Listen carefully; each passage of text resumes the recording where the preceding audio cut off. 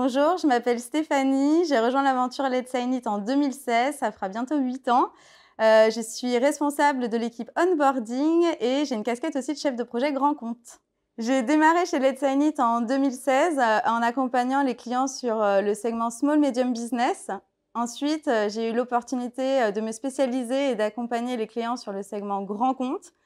Et il y a environ deux ans, on a restructuré les équipes et euh, je m'occupe euh, aujourd'hui euh, de l'équipe onboarding qui est composée de cinq personnes.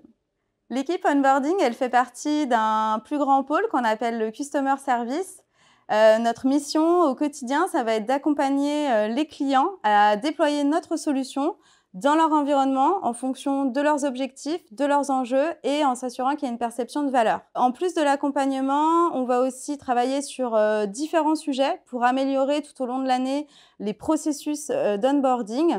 On va, euh, par exemple, travailler sur euh, les livrables pour s'assurer que la documentation qu'on produit pour les clients, elle suive les évolutions du produit euh, et qu'elle soit aussi en accord avec les organisations que l'on accompagne. On a mis en place aussi très récemment un nouvel outil CSM qui nous permet de mieux mesurer les KPI d'un projet.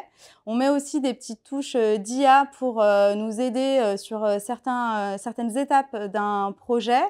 Et on va aussi euh, bah, travailler à anticiper et réduire les points de friction qui peuvent apparaître euh, dans un projet. Ce que j'aime chez Let's Sign It, c'est qu'on a une très forte capacité d'adaptation. On sait se remettre en question et euh, se challenger.